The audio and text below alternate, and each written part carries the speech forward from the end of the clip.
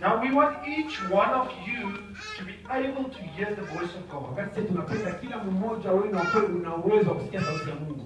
So uh, we are here to, to, to teach about the Holy Spirit, Tuko hapa kufundisha kuhusu vile tunapaswa kuishi, to teach about the relationship of with the Holy Spirit. Ku- kufundisha kuhusu uhusiano na Roho Mtakatifu. When I was 19 years old, I wanted to commit suicide. Wakati nilikuwa na Disneyland nilitaka kujua, I wanted to shoot myself. nilipata kupitia bunduki na kujua, But by God's grace, He saved me. lakini kwa neema ya Mungu aliniokoa. I was very, very, very depressed. Nilikuwa nasikia naamseka sana, Always thinking negatively. niko tu nafikiri kwa nini mimi, kwa nini mimi? But God came, the Holy Spirit came. lakini Roho wa Mungu alikuwa He took me by the hand. akanikamata kwenye mkono, He said to me, Listen to me. I will take you all over the nations. I did not have any money. I did not have any education. But I had the Holy Spirit. And today I don't have many degrees. But I have the Holy Spirit. Each one of you can hear the Holy Spirit. Kila mmoja mwenye kwa anaweza kusikia Roho wa Mungu kuongea. When you were laid in your mother's womb, God had a dream. Wakati ulikuwa ndani ya tumbo la mama yako, Mungu alikuwa ashakuangalia milango yote yako.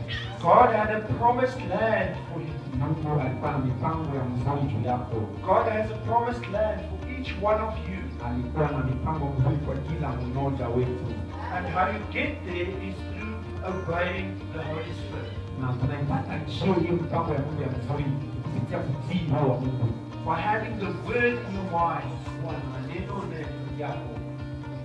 But when you do not have the word of God in your mind, Kuna maneno ya Mungu kwa mawazo yako, and you have the word of uh, death in your mind, na ukiwa na maneno ya kifo kwa you don't know where to go.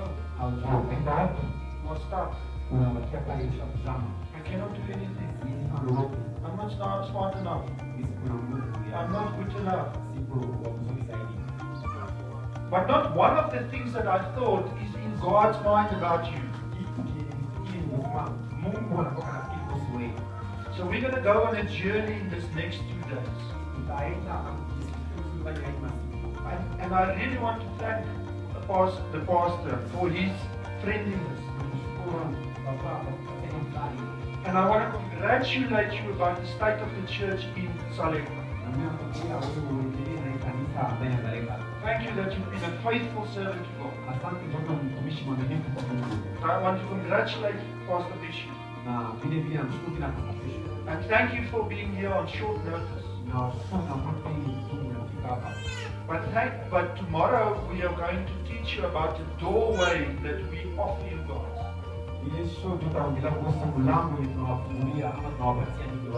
A way that I believe is better than even America or the UN or, or, or any way of me putting you in another place. Na mimi nashukuru kama inaweza kuwa ya mzuri sana zaidi ya Waamerika kuwachukua ama UNHCR kuwachukua na kupeleka mazingira. If you have the word of life in your mind, Kama uko na maneno ya uzima majili yako, you will go. Punta International.